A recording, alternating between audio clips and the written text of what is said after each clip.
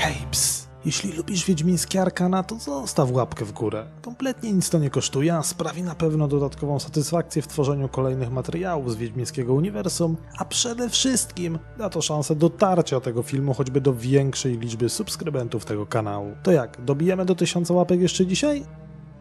Czasem może panować ogólne przekonanie, iż cesarz Nilfgardu dysponuje władzą absolutną. I w teorii tak właśnie jest. I choć to od niego zależy, kto ma położyć swoją głowę na szafocie, to musi zmyślnie lawirować w swych decyzjach politycznych oraz militarnych w kontekście dobra swych obywateli oraz skarbu państwa, aby samemu nie przypłacić swoją imperialnie ambitną głową.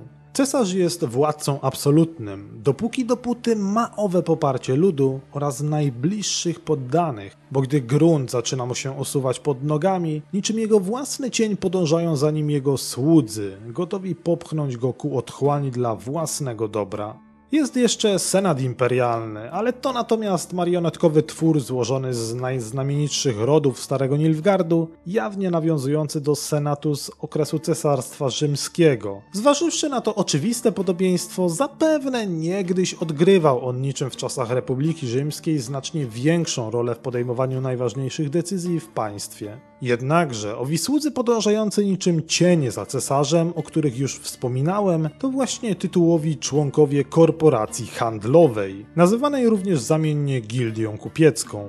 Podboje nowych terytoriów są nierozerwalnie związane z kwestiami handlowymi. Z jednej strony pieniądze są potrzebne do utrzymania władzy i wsparcia jej działań, z drugiej zaś handel może być narzędziem wpływania na inne państwa. Przykładem historycznym takiej zależności jest starożytny Rzym, gdzie handel i bogactwo były kluczowe dla utrzymania władzy patrycjuszy. Handel z innymi krajami pozwalał im na zdobycie dostępu do luksusowych towarów i surowców, co przekładało się na ich pozycję polityczną. Na tyle wysoką pozycję, iż to oni mieli w późniejszym okresie największy wpływ na przyszłych cesarzy.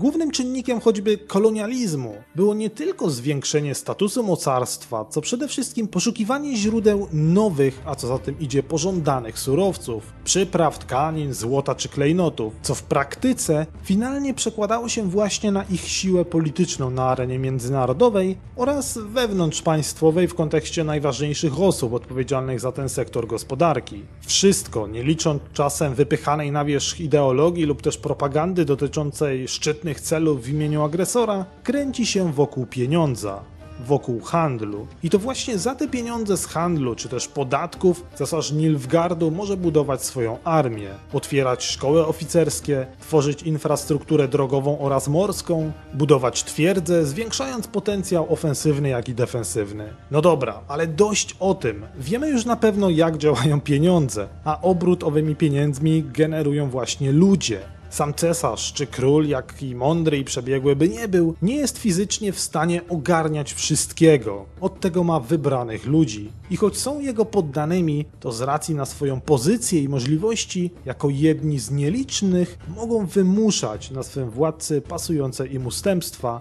dla własnej korzyści.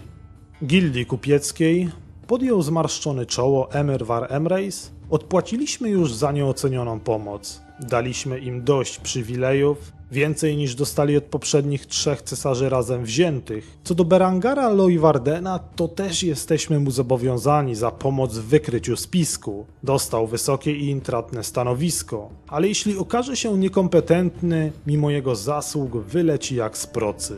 Spisek, o którym była mowa przed momentem, był już przeze mnie poruszany w materiale o Morwranie w Orchisie. Miał on na celu osadzenie młodziutkiego jeszcze przyszłego dowódcy dywizji Alba na tronie, aby za jego plecami sterować państwem. Nie chodziło w nim o wielką niechęć do samego Emyra, lecz do samej II wojny północnej, która blokowała handel z północą, największym jakby nie patrzeć handlowym partnerem Nilfgardu, co przyczyniało się do strat wielu kupców i organizacji ich zrzeszających. Był to rzecz jasna jeden z powodów. Skoro już przytoczyłem tutaj miano Vorhisa, należałoby zaznaczyć, że również i on jest jednym z członków tego wpływowego gremium, choćby z racji na swego ojca.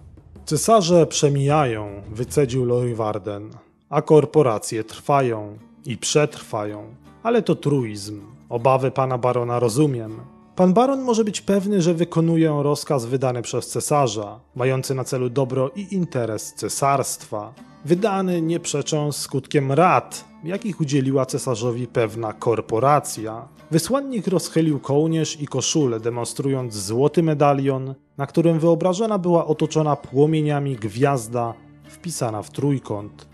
Ładna ozdoba, Silard z uśmiechem i lekkim ukłonem potwierdził, że pojął. Mam świadomość, że bardzo droga i elitarna. Czy można ją gdzieś kupić? Nie, zaprzeczył z naciskiem Berengar Leuwarden. Trzeba sobie na nią zasłużyć. W każdej dużej odsłonie Growego Wiedźmina mieliśmy do czynienia z członkami tejże organizacji. W pierwszym Wiedźminie był to Deklan Leuwarden, z którym mamy do czynienia zarówno w pierwszym, drugim czy trzecim akcie. Jest tam jedną z prominentnych postaci.